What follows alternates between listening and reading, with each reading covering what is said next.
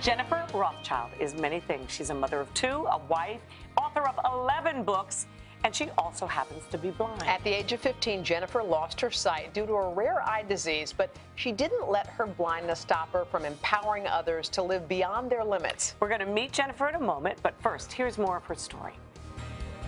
Blindness is not something I was born with.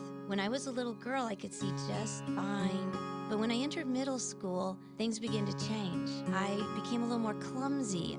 My math grades began to plummet. I didn't realize it was because I couldn't see the numbers on the chalkboard. One night I was walking with my mom to a friend's upstairs apartment. I was tripping up those stairs and my mom stopped and asked, Jennifer, can you not see the stairs? And my response was just as surprised. What do you mean, mom?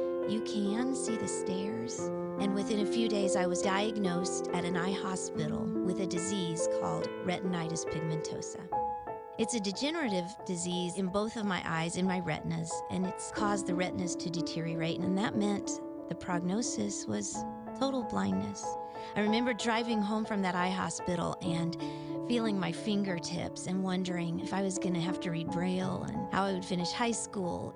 What started as legal blindness quickly became darker and darker until, over a period of years, all the light I once saw was replaced with darkness. But within the loss, I've received so much. Blindness has introduced me to myself. I've learned that I can't change blindness, but I can change my perspective. And when my eyes are grateful, I really can see goodness and grace. I've learned that blindness does not define me, but it has truly refined me, and it still does. How much do we love? Jennifer? Love- that when, when my eyes uh, are grateful. What a lovely way Jennifer, to put it. welcome. It's How true. Thank are you. I We're so love being here. Thank Now you. you're Thank spreading your message across the country, and you do, do write about it in your new book. It's called Invisible. How you feel is not who you are. What a beautiful title too for that book. Well, don't women feel invisible? I mean, Yeah. we The all older do. we get, too, especially. yeah, yeah, yeah, You don't have to be blind to not be able to see who you are. 15, th- when you were first diagnosed, that's a tough time for young girls anyway. Oh, yeah. You know? Yeah. Was there a time when you were sort of mad at the world, mad at God because of it? It just seems so unfair.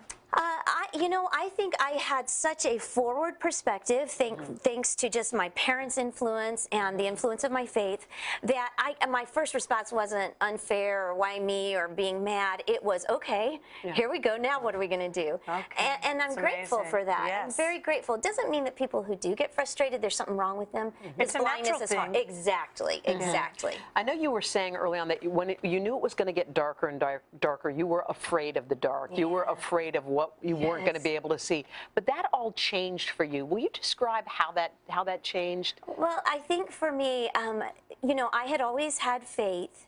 And when blindness came into my life, suddenly it became this classroom, this testing place for me to discover that everything I really had believed was true. And so there is a light that comes from believing in something bigger than yourself, that's beyond yourself, that's more eternal. And that kind of light, really, because of my relationship with God, gave me um, a light in that darkness, a reason to have hope. And so that really, what could have been a loss, Yes. what people would dread, really ushered in for me the life I've dreamed So of. because you couldn't be independent, you had to become dependent, Yeah. really, right? yeah, and, and that's, And that's a, a great thing, yeah, People end are healthier when they depend on each other. Uh-huh. Yeah. I'm just looking at you and just I'm I'm in awe of Yeah. you. I am. I really am. You just have a maturity and a and a, a- just a radiance about you that that most seeing people, many seeing people wouldn't don't come don't come near Yeah. in life. What, And- and what's- you- yeah, go ahead. No, I was going to say you're beautiful. We just you have a beautiful husband. You have beautiful children. She calls him her boyfriend. I like that. Yeah, That's my my favorite boyfriend for part. 30 years. Your That's right, beau's he's my boyfriend. here. Now, when when you finding each other, having a family, did you think that was going to be in the cards for you? No. No. No, I honestly thought, who's going to want to marry a blind woman, right? Because I thought, you know, uh, that my uh, my husband to be, if I got one, would want someone who could support him and help and cook and drive carpools, and you know, he's the one who had to iron my clothes and uh, you know. He puts you together beautifully. He- he I gotta say. he? Yeah. Excellent taste, boyfriend. he- he's taken. Um, but but here's the thing. Uh, the reason I wrote Invisible is because just like I felt when I thought, am I going to get a husband? Am I going? Are Yeah. boys going to want to date me, all that. Women feel that way Yeah. for altogether different, Different reasons, reasons. But the reason, but it's universal as women that we deal with that kind of insecurity and lack of confidence. So, what advice? Because there are women, obviously, who have insecurities um, and they worry about things like that. What advice does your book help them with? What does it? Well, give? I help women understand that insecurity is not based on something that's out there or the way that other woman looks or how successful that other woman that you're competing against Yeah. might be. Insecurity is based on a belief uh-huh. about yourself. It's based on this idea that I lack something. Yeah. And so what I help the reader understand in Invisible is you lack nothing. And here's why. You L A C K, you are loved. Yeah. You are mm. accepted. You are complete and you are known. Even if no one else ever communicates that to you, that's who you are. So there's no reason to be Yeah, I love what you say. Blindness doesn't uh, define me. It, it has refined me. And it has, hasn't we love You, you. you come back and just anytime. All right, God Thank bless. Thank you, Jennifer. things. God bless. Hello, Today fans. Thanks for checking out our YouTube channel. Subscribe by clicking that button down there and click on any of the videos over here to watch the latest interviews, show highlights, and digital exclusives.